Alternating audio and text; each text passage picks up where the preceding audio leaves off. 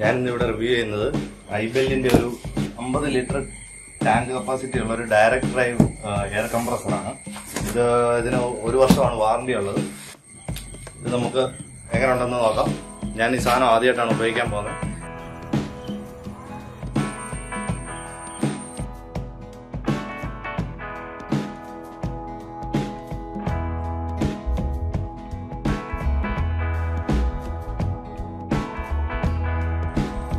ഇത് അതിന്റെ എയർ ഫിൽട്ടറാണ് ഇത് രണ്ട് വീൽ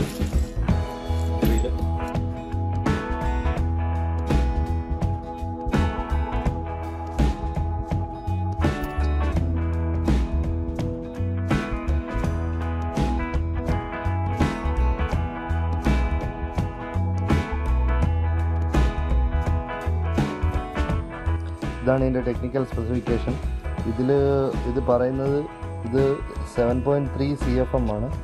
അപ്പോൾ നമുക്ക് അത്യാവശ്യം നല്ല ബ്രാഡ് നെയിലേഴ്സ് ഒക്കെ യൂസ് ചെയ്യാം.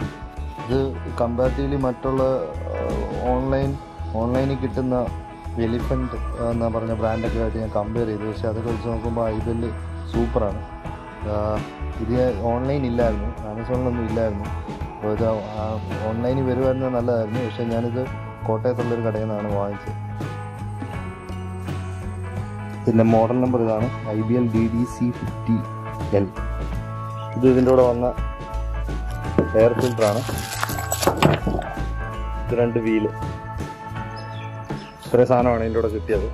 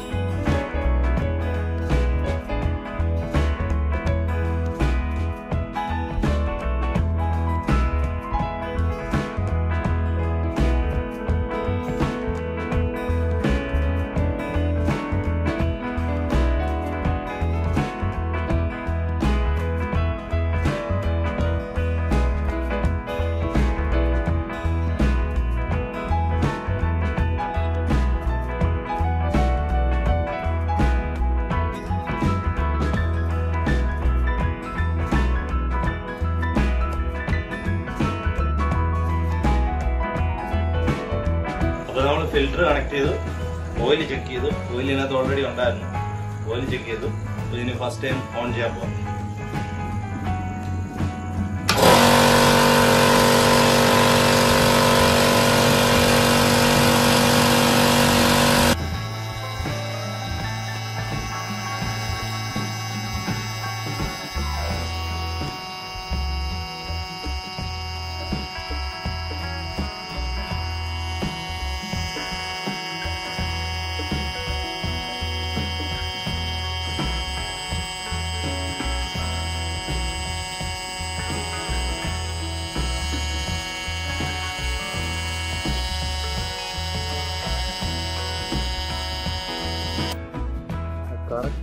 എട്ട് പി എസ് ഐ ആയപ്പോൾ അത് ഓഫായി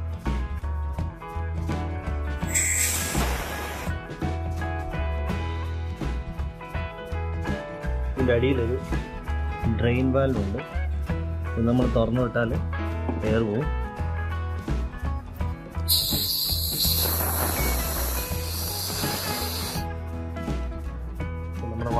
തുറന്നു വിടാൻ നല്ലതാണ്. ഇതിനുള്ളിൽ മോയ്സ്ചർ ഈ എയറിലുള്ള വെള്ളം ഒക്കെ അതിൽ കിടന്നിട്ട് തുരുമ്പ് പിടിക്കാനുള്ള ചാൻസ് ഉണ്ട്. അത് ഒഴിവാക്കി കിട്ടും അതാണ് എന്റെ മോട്ടർ എനിക്ക് ഐബിന്റെ സാധനത്തിൽ ഭയങ്കര വിശ്വാസമാണ്. കാര്യം എന്റെ ഓൾറെഡി ഒരു ഒരു വെൽഡിങ് മെഷീൻ ഉണ്ട്. പിന്നെ ഒരു ഇലക്ട്രിക് സ്ക്രൂ ഡ്രൈവർ ഉണ്ട്. പിന്നെ ഒരു ബ്ലോവർ ഉണ്ട്. പിന്നെ ഒരു ഓർബിറ്റ് സാൻഡർ ഉണ്ട്. ഐബിന്റെ കാര്യത്തിൽ എനിക്ക് ഭയങ്കര വിശ്വാസമാണ്. കാര്യം അവരെന്റെ ഇലക്ട്രിക് സ്കൂട്ടർ എന്നൊരു ഇഷ്യൂ വന്നപ്പോൾ അവർ പെട്ടെന്ന് ശരിയാക്കി തന്നു. അതുകൊണ്ട് നല്ല വാറന്റി ഉള്ള സാധനമാണ്. വൺ ഇയർ വാറണ്ടി എന്ന് പറഞ്ഞാൽ പക്ക സർവീസ് പക്കയാണ് ഇത് വാങ്ങിക്കുന്നതുകൊണ്ട് ഒരു ദോഷമില്ല ഇതെനിക്ക് പന്ത്രണ്ട് സംതിങ്ങിനാണ് കിട്ടിയേക്കുന്നത്. അപ്പോൾ അതൊരു നല്ല വിലയാണ് ഞാൻ നോക്കി. നല്ലൊരു നല്ലൊരു പ്രൈസിലാണ് എനിക്ക് കിട്ടിയേക്കുന്നത്. അത് കാര്യം ഇത് അമ്പത് ലിറ്റർ ടാങ്കുമാണ് ഇത് ഇരുപത്തിനാല് ലിറ്റർ ടാങ്ക് വരുമ്പോൾ ഇതുമായിട്ട് ചെറിയ വ്യത്യാസമേ വരുന്നുള്ളൂ പ്രൈസിൽ ഞാൻ തുറന്നു വിട്ടപ്പോൾ ആ എയർ ഇവിടെ പോയി നമുക്ക് കാണാൻ പറ്റും. ഞങ്ങളുടെ എയർ തുറന്നു വിടാം കുറയുന്നതാണ്. അപ്പോൾ സ്റ്റാർട്ട് ആവുന്നതല്ല എത്രയും താഴെ പോകുമ്പോഴേ സ്റ്റാർട്ട് ആവുന്നത് നമുക്ക് നോക്കാം.